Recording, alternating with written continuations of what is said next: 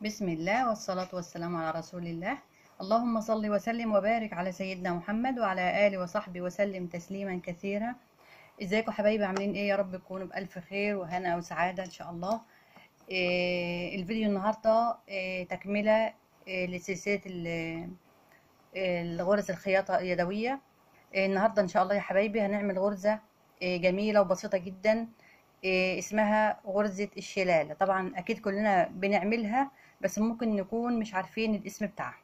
طبعا القليل منا يعني كلنا طبعا شطار وعارفين كل حاجة بإذن الله. فإحنا النهاردة هنستخدم إيه الخيط الكوتون بارليه ده. ده خيط الكوتون بارليه. هنغير شوية الملونة.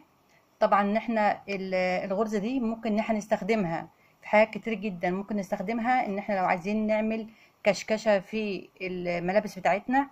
ممكن نعمل آه، صدر فستان طفلة. بكشكشة بسيطة كده يديلها منظر جمالي أو آه، إن إحنا نثبت بها آه، جزء معين برضو بكشكشة.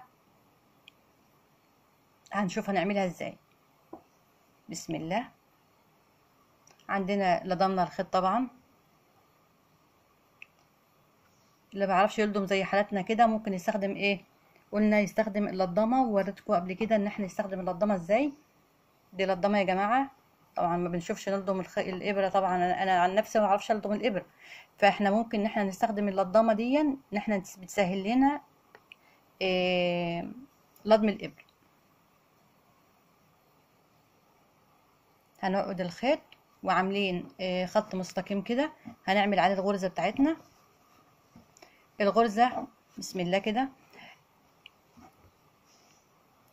هنعمل أول سراجة إيه ناعمة أو سراجة ضيقة بالظبط. زي أكننا بنعمل غرزة السراجة بالظبط. وبعد كده هنشوف هنعمل إيه عشان تبقى الغرزة اللي إحنا بنعملها النهاردة اللي هي غرزة الشلالة يبقى إحنا دخلنا الخيط أهون وربطينه وعقدينه من تحت. بسم الله. معلش بقى ال- النضارة. بسم الله. بالطريقة دي كده. بندخل الإبرة ونطلعها إيه وتكون ضيقة كده. ويا ريت يكون قد بعضها المسافات.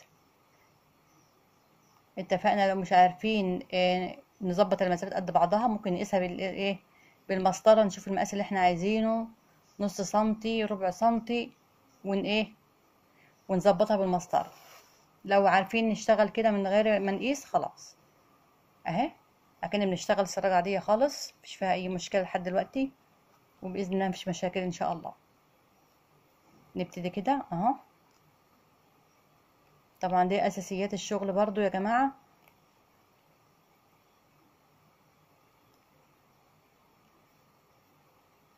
عارفة إن إحنا كتير مننا عارف الغرزة دي بس برضو إيه في وسط الغرز ال- الخياطة فاحنا إيه قلنا ان إحنا ناخد كله يبقى خلاص إيه ما نسيبش حاجة إن شاء الله.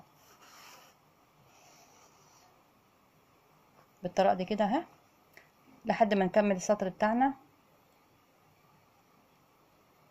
الغرزة دي لو معمولة كام سطر جنب بعض و إيه سحبنا الخيط يعني وعملناها إيه عملنا لها كشكشة هيبقى شكلها جميل جدا.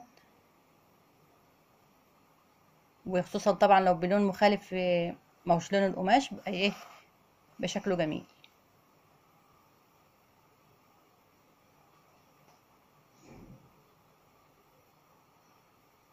بالطريقة دي كده.